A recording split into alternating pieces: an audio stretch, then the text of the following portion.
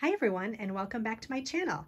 We're down here in my craft room in front of um, kind of a mood board that I created on top of my craft table.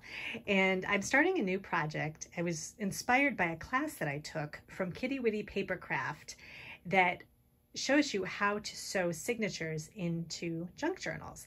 And this is always something I wanted to learn how to do. So I, I took the class. I dabbled in junk journaling in the past using pre-made binders and that type of thing, but I thought it'd be fun to, to kind of learn something new. And um, I was looking for something different to do, some other creative outlet. I have a ton of scrapbook paper. So after watching the class, I was thinking, you know what, I'm gonna I'm gonna make a journal and kind of see what I can use in my craft room.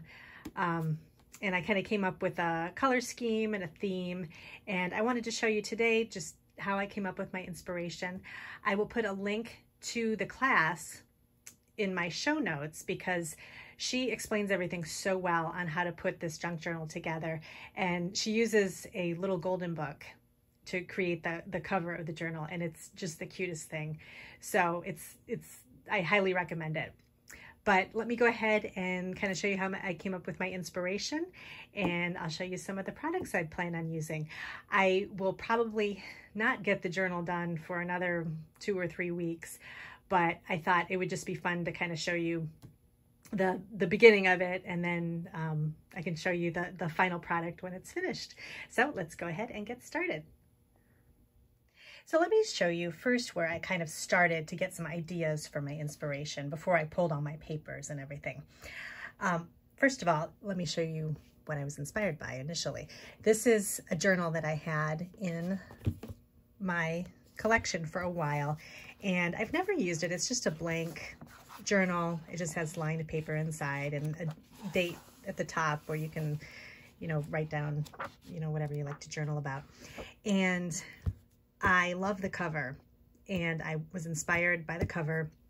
So I wanted to create a junk journal that kind of revolves around these colors and kind of the style of this sort of a cute floral, kind of a bright, uh, I wouldn't say clean and simple because I don't know if you can call a junk journal clean and simple, but it's just kind of a cheerful, bright, kind of that type of look for the journal. So since it's kind of a thin book, I didn't want to attempt to do the signatures and create a spine with this type of journal because I didn't want to mess it up. So I'm going to wait to do that. And so instead I'm going to do a three ring version of this one. And I haven't yet removed it from the spine. So I'm hoping that I do okay when I remove it. But um, so this is where I'm starting. So from here, I wanted to kind of come up with some other types of inspiration. So I started a Pinterest board, which I love to do, that kind of revolves around the types of things that I was imagining that would be in the junk journal. So if you can see a little bit here, I just have some color combinations. Um, I, I love these vintage florals here, so I'm kind of using that as a jumping off point. Um, polka dots, um, greens, pinks, mint colored plaid. I just kind of have, I, this was really helpful because I kind of just went through and just pinned anything I could think of. I was trying to kind of get a feel for what the junk journal would look like. And this really, if you really look at it, it, it really gives great inspiration. I've got the gingham washi tape, um, oilcloth fabric, all of these types of things. So um, this was a great jumping off point. Um, next, I just kind of pulled all the types of scrapbook papers I had. I had this ephemera pack that I haven't used yet. This is from Paige Evans, Pink Paislee, Bloom Street. And I thought these stickers were so pretty. And I have the ephemera pack too that kind of coordinates with this. So I thought those would be nice. Um, and then I have all these different papers and they're from all different companies. Um, I've got some crepe paper. I did some, some ledger paper, some grid paper. I, I want to add a lot of texture too, so I have this kind of wood grain look that I thought would be nice. Strawberries and white flowers, that's what I was imagining that would go with the gingham too. Daisies, um, some kind of a scripty scripty uh, scrapbook paper, favorite paper. This is from Felicity Jane from their Lola collection. And I bought a couple of packs of these a while ago because I just love these flowers. So, and everything in the collection is really pretty. So I definitely wanted to use those. I have the small version and then I have the big version too. And then I have just some gingham papers, some tiny, tiny patterns. So like little, little hearts, um, some smaller floral patterns. And I'm not gonna use all of this, but I just kind of wanted to pull everything. And I figured, you know, I'll see kind of how it comes together. So I've got some plaids. I have some more kind of like a grid pattern look. And I'm just kind of staying in that same color palette that I had showed you on my inspiration board. And then I have, then I wanted to get some texture. So I have this acetate paper. This was Dear Lizzie. This was from a long time ago. I've never used this, but it's kind of cool. It's like a, just a clear plasticky type paper. But I thought that would be fun to use. Um, this is from another uh, Felicity Jane set um, from a really long time ago, but I thought those strawberries were cute and the little tags. And then I just grabbed some, these are papers that have journaling cards on them that you can cut apart. And I thought those would be fun to kind of stick on the rings in between dividers or put into pockets or something like that. So again, I just kind of pulled everything that had the same color palette as my inspiration board. This is cute. This is a paper pack I got a while ago at Hobby Lobby ice cream parlor. So it's got tons of gingham and polka dots and stripes. So I might be able to use that for something. And this is kind of a grouping of more textural paper. And these are paper pads that are really old. These are from Cosmo Cricket. I don't know if anybody remembers that company, but they had some really cute, they always had a lot of retro style papers. But then they also had um, this really fun paper pad. This one has different textures in it. So it's got some vellum, printed vellum, and then um, I think it had some normal paper. Actually, no, this is all vellum. But different prints on all this vellum that I thought would look really nice. I like this one. This has got kind of a retro look. And I was actually at Tuesday morning a really long time ago, and they had these on sale there. So I picked up a couple of the, the paper pads. And I'm glad I did because these are really cute. This one is also, this is a tissue paper pad, which is kind of interesting. And this gives some texture too. I was thinking I could use, I like this, this mint green color. I thought that would be kind of fun to use. I'm not sure yet how it will hold up, but we'll see. I might be able to find a way to, to make it work. And then this one is called Simple Surfaces. And this has, this is a combination of regular cardstock with some kind of embossed prints on it. And then I think it's got, in the back here, it's got some vellum. Again, some of like the vellum printed stuff. And I think all it is is vellum, no tissue. But I thought this would be nice for, to just to add texture because I wanted to have a mix of just regular paper and then stuff that has, you know, maybe an embossed feel to it, the vellum, um, fabric too. I picked up these squares from Hobby Lobby. I like the, the print on it and the, the flowers I thought would kind of go. So I, I, I'm to I'm not sure how I'm to use it, but I think I can maybe find a way to either make a pocket or do something, maybe cover cover a page with the fabric. So we'll we'll see how that ends up, but definitely wanted to keep that. And then I grabbed some washi tape that kind of went with my color palette too. So just some ginghams, blue polka dots. This is fabric washi, which that's nice for another texture.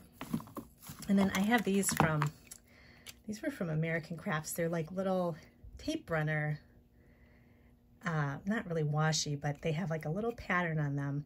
And you run it like a tape runner and gives you like a cute little floral pattern. And then this one has, this one has hearts, but it's mint green and pink. So that goes with the color palette. So that's everything up here. So, and I, I think I talked about this, or I showed this in an Instagram post. This is a table that I recently got from Amazon, which it's not available anymore, and I would have linked it. But I used to have a card table.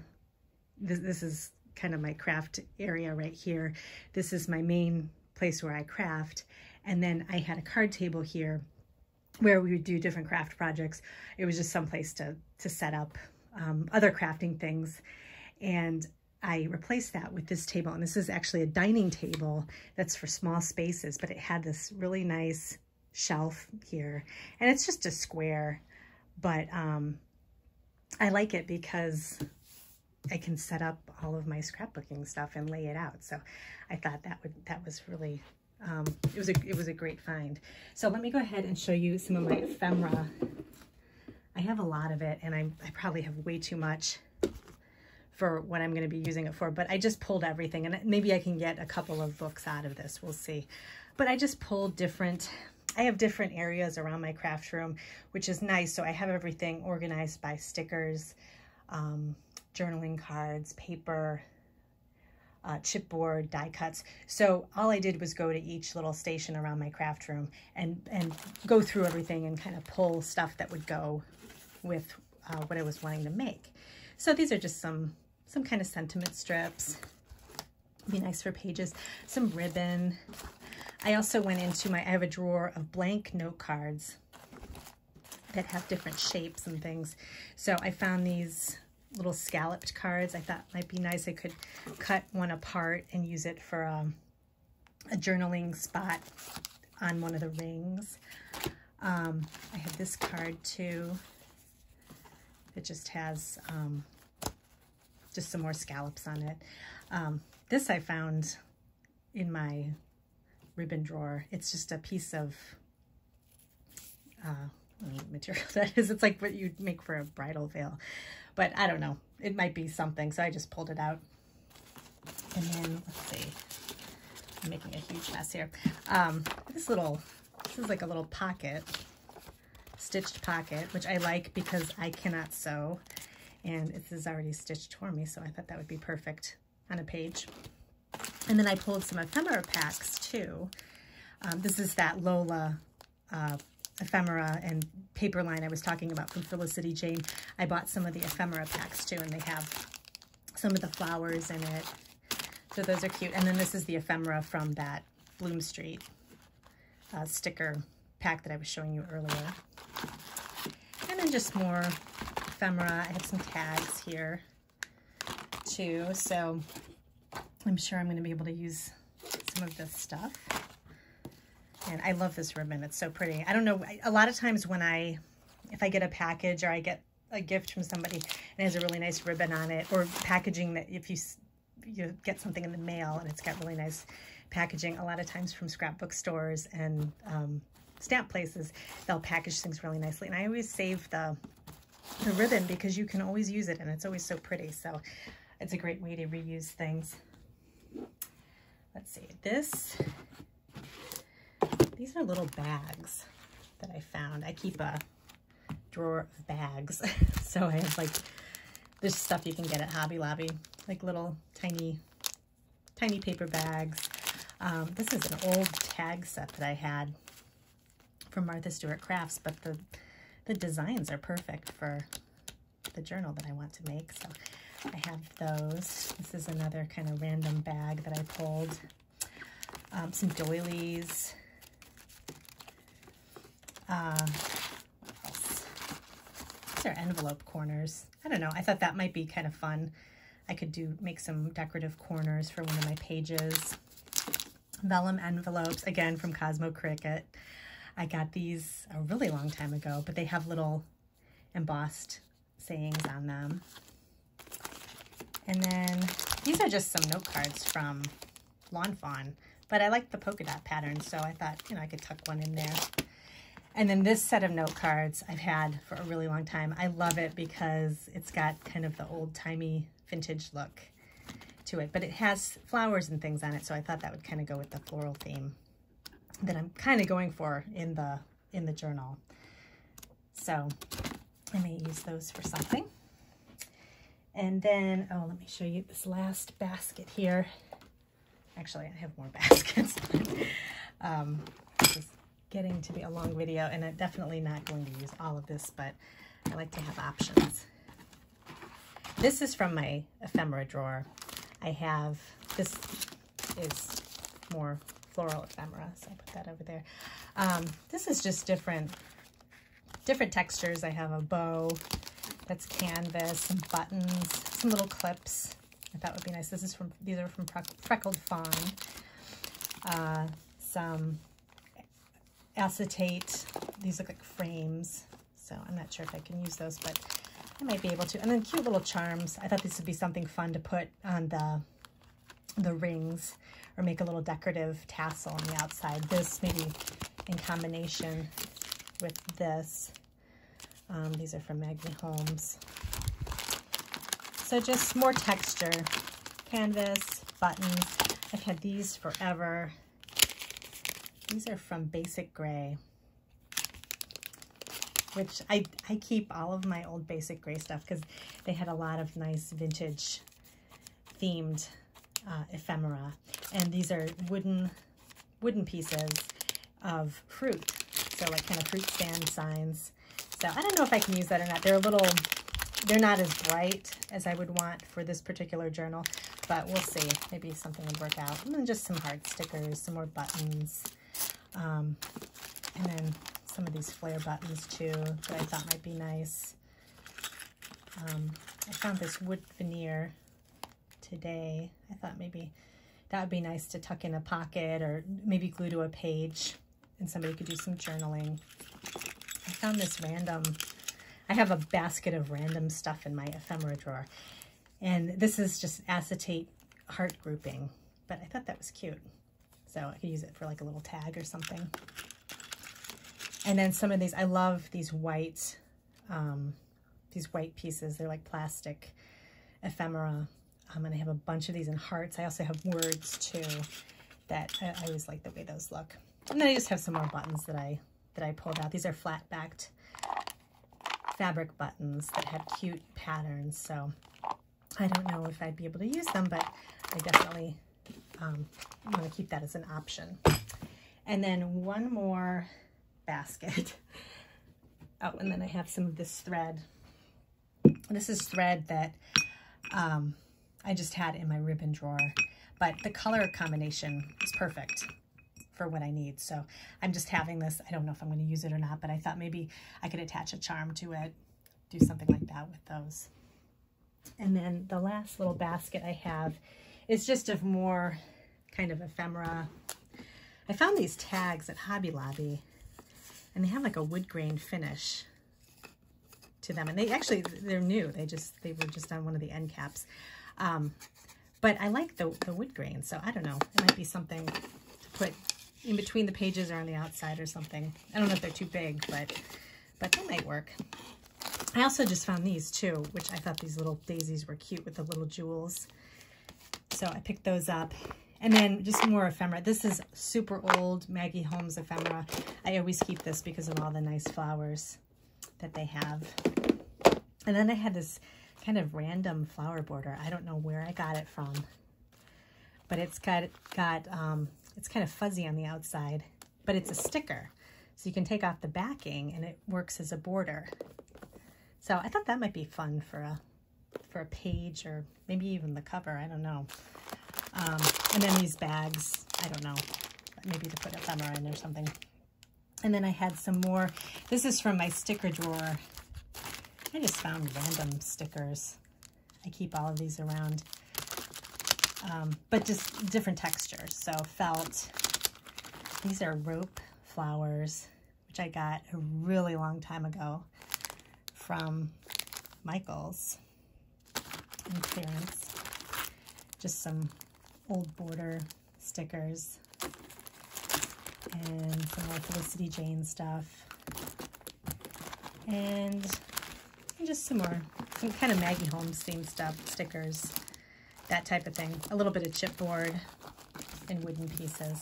Again, I don't know if I'm going to use them or not, but the color, the colors matched what I was looking for, and then it's also got the texture. So, so I don't know. We'll see. So that's it for um, everything that I want to put in my journal. And my desk is a mess now, so I'll have to clean it up. The one more thing that I found, I, I like to collect vintage cookbooks and I do have a few vintage uh, other types of books. And I had this, I don't, I'm not sure where I got it from, but this is a gardening book. And it's a golden book of gardening. And I'm not sure if I will use it or not. It's got some really nice pages in it, but it's in pretty good condition. And I don't know if I want to take any pages out of it. I don't know. We'll, we'll see. But I thought some of the words would be kind of nice. Um, just how a plant grows and um, just have something like that because it's trying to have like a floral theme in the journal. I thought it would be kind of fun to have have a paragraph about plants or how something grows or something like that. But then there's some nice pictures too. And I like these um, illustrations of all the different colorful flowers. So I don't know. I don't know if I could bring myself to, to take it apart, but, but we'll see. And then um, this is just another journal that I had. Um, it's not vintage or anything, but the cover is kind of a vintage style, which I may use this cover to make a journal sometime. But it just has uh, paper inside of it, blank paper. But I like the other side of the paper. It's got kind of a yellow rose, rose clusters on the back. But the paper's a little bit aged looking, and I don't know if I want to put that in the journal because I'm kind of looking for more brighter colors. But I thought these were cute, the little the little icons in the bottom corners. I thought those were cute. So maybe for another type of journal. So anyway, so that's my my journal inspiration. And like I said, it's going to be a few weeks before I get this thing put together, but I thought it would be fun to challenge myself to try something new and different. Um, like I said, I've kind of dabbled in the past with, with journals, especially at Christmas time. I, I've made some kind of ephemera junk journal type things. So I thought um, it would be fun to, to kind of try something new and um, see see what I can make. So thanks so much for joining me today. And I'll have links to the the class I talked about too, from Kitty Witty Papercraft, because it was really such a nice class, and her her her uh, journals that she makes are just delightful. So um, definitely you want to take a look at that. So thanks so much for joining me, and I'll see you in my next video.